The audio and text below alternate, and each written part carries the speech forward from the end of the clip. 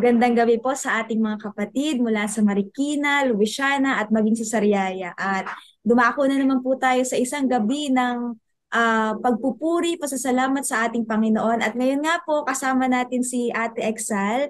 Siya po ay isang church leader dito sa Sariaya at siya rin po ang humahawak ng kaperahan ng aming church. Siya po ang treasurer ng uh, JFM Sariaya. Hello po Ate Exal, kumusta naman po kayo? Hello. Okay naman, Joyce. Uh, hello, mga kapatiran sa Jewels.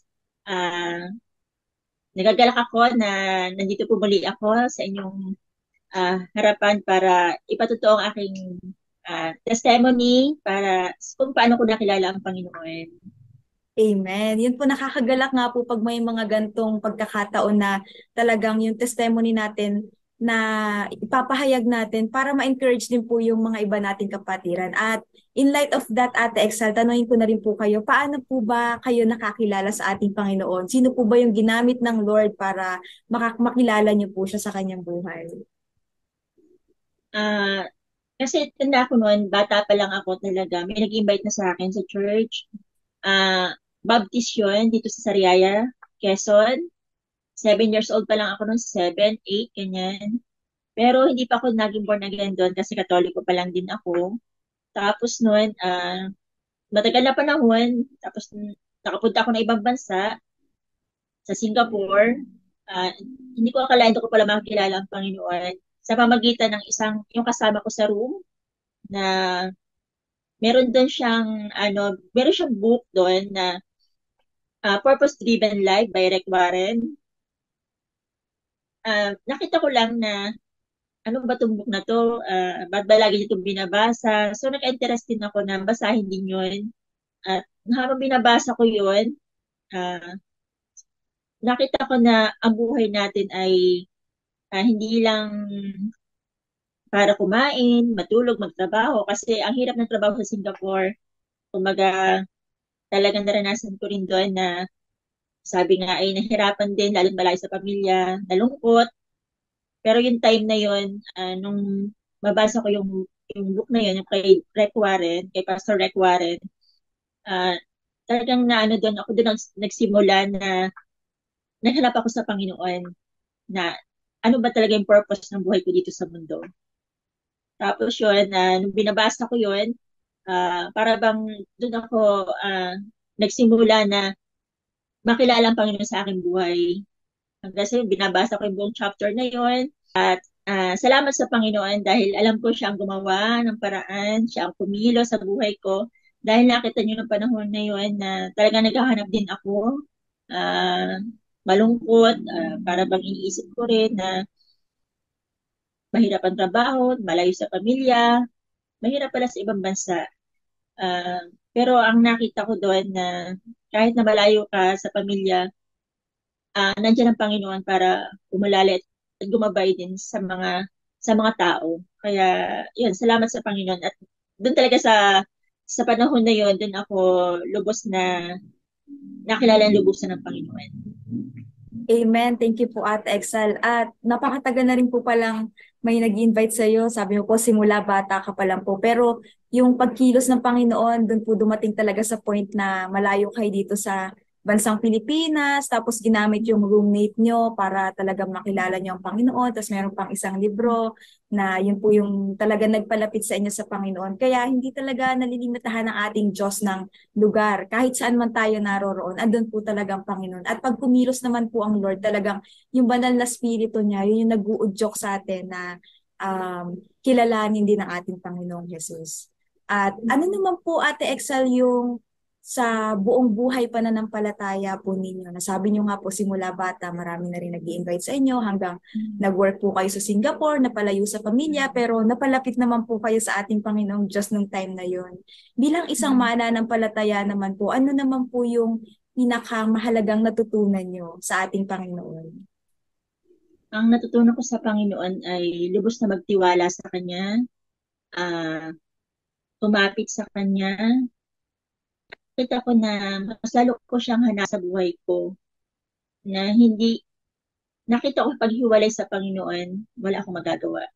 Kumaga ako ay sabi nga ay ang isang tao kapag hiwalay sa Panginoon, uh, magulo ang buhay, hindi alam kung saan pupunta, hindi alam kung saan patutungo, pero nakita ko na pag sa Panginoon, uh, makita mo na kailangan na siya yung kakapitan mo sa, sa panahon na ikaw ay nahihirapan, sa panahon na ikaw ay may pag, may problema, sa panahon na may pangangailangan.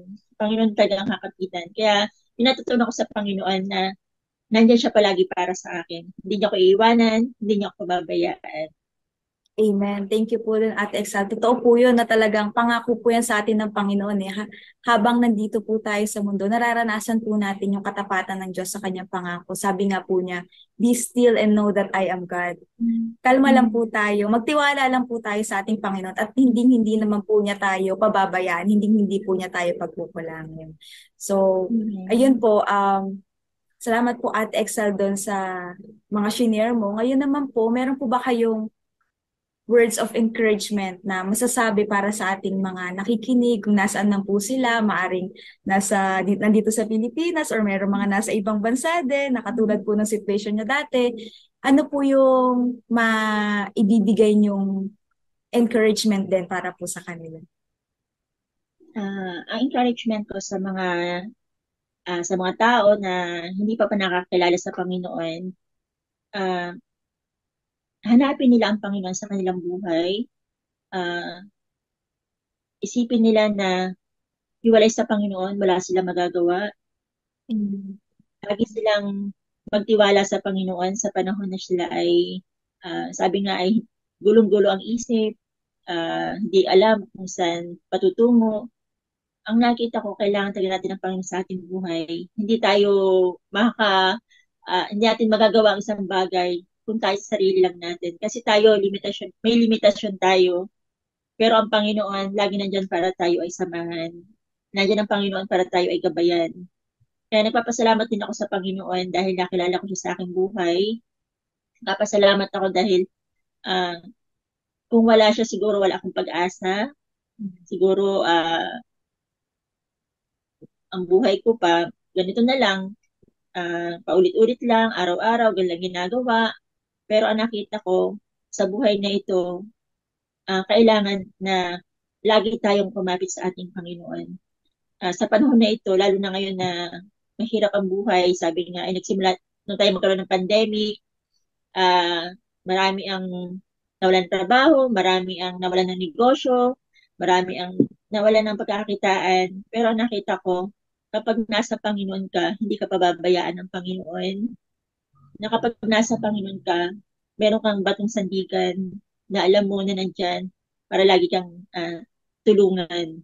Kaya salamat sa Panginoon na hindi ako iniwanan ng Panginoon. Kaya kayo din po uh, na, na nandito nakikinig, uh, lubos niyo pong ibigay ang yung tiwala sa Panginoon. At nakita niyo po, hindi kayo pababayaan ng Panginoon.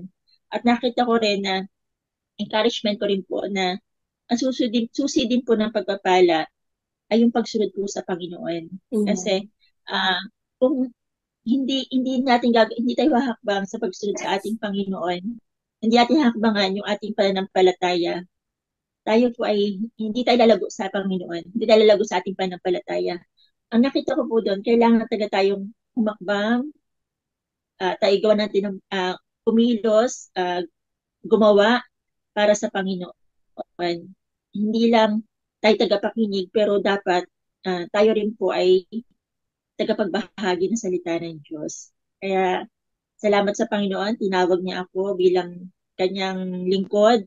Salamat sa Panginoon dahil uh, nakilala ko po kayo, Jewel's Family, na hindi ko akalain na dati akong sabi nga ay uh, katoliko, pero uh, nakita ko na hindi lang pala uh, sa relihiyon ang hindi lang sa relihiyon bumabatay ang pananampalataya ng isang tao, kundi yung relasyon natin sa ating Panginoon.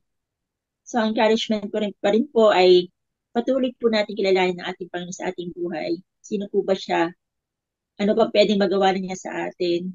At ano yung pwede niyang uh, gawin pa sa ating buhay? Kaya salamat sa Panginoon at ako'y nagagalak po na ako po ay muli nakapagpatotoo sa inyong harapan. At talagang nakita ko na ang sarap po maglingkod sa Panginoon.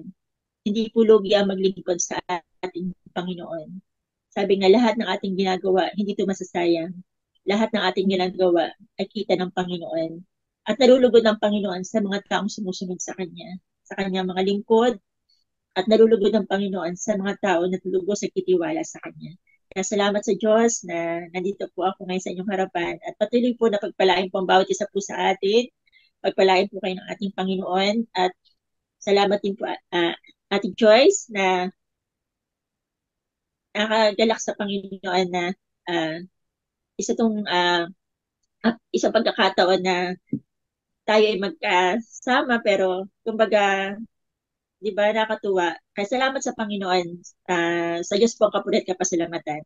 Amen. Salamat po doon Ate Excel sa words of encouragement mo. At, at totoo nga po yun kasi nitong pandemic, nakita rin po namin talaga na madami po di ba mga nagsarang business. Pero ang ginawa din po ng Panginoon sa buhay ninyo, nagkaroon po kayo di ba dito ng, ng tindahan din sa Dubaga. At parang na, tama po ba yung pagkakaalala ko, mas dito pa po bumabenta kaysa po dun sa bayan. So yun talagang, uh, amen, nakakagalak po talaga na maglingkod sa Panginoon kasi hindi po talaga nawawaglit sa paningin ng ating Panginoon yung mga ginagawa natin. At tuwing pag tayo po'y palaging nakalapit, nakadikit sa ating Panginoon, andun po yung paglago ng ating pananampalataya at andun din naman yung pagbibigay ng Diyos ng saganang pagpapala na nakikita po talaga natin sa buhay ni Ate Exal. Ayun, maraming salamat po Ate Exal at salamat din po sa ating mga tagapakinig. Nawa po ay um, nangusa po ang Panginoon sa inyo sa pamagitan ng buhay ni Ate Exal. At maraming salamat po muli. God bless po. God bless po.